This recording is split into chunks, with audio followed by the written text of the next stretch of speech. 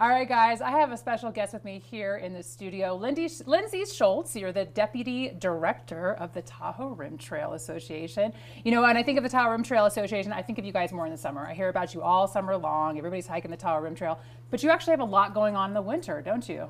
Uh, we do. Um, obviously, we have a lot of uh, a lot of our programming, volunteer trail building, um, a lot of our outreach, all that is happening in the summer.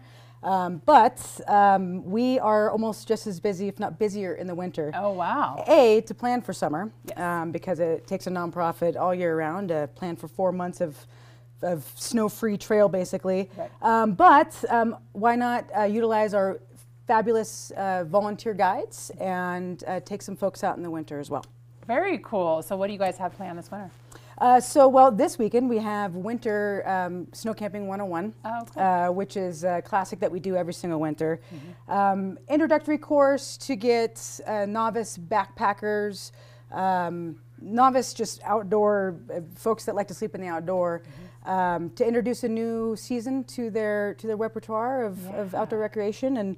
Um, really hold their hand and, and teach them the basics. Um, snow camping can be some of the most magical, peaceful time out in the winter. It's there, there's a stillness and a smell to the air that you just cannot get uh-huh. any other time.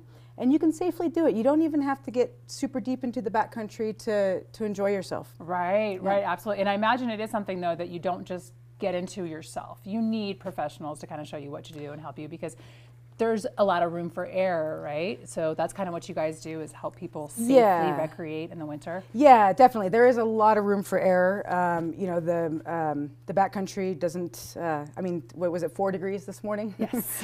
um, yeah. So so the kind of things that we review is uh, sleep shelters, how to stay warm, um, how to build a- how how to build a platform, gear, of course, um, which can get pricey. um, survival rules of three, which is one of my favorites. That is, don't leave the group, stay with the group.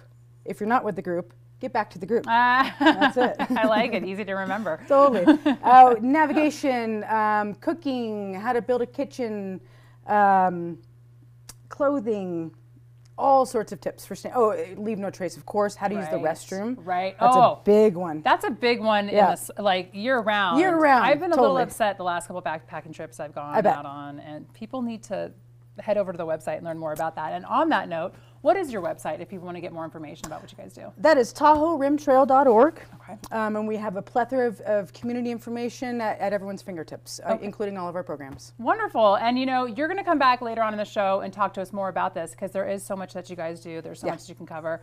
Uh, and we only have a few minutes right now. So we're going to be checking in with Lindsey later on the show.